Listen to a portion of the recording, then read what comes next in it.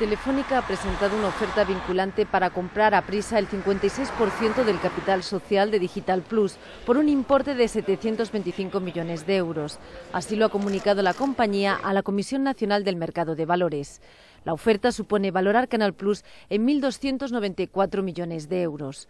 Telefónica cuenta ya con un 22% del capital de Digital Plus, por lo que con esta compra se incrementaría su participación hasta el 78%.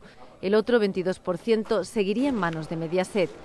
El obstáculo para culminar la operación podría estar en los reguladores. Telefónica recuerda que la oferta está sujeta a la obtención de las pertinentes autorizaciones y al cumplimiento de las condiciones habituales de este tipo de transacciones.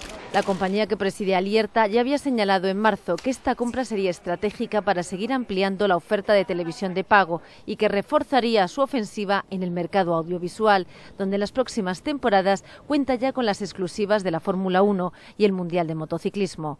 La compra de Digital Plus redondearía su oferta con los derechos de fútbol. Esta venta a Telefónica era un secreto a voces en el sector desde hace meses.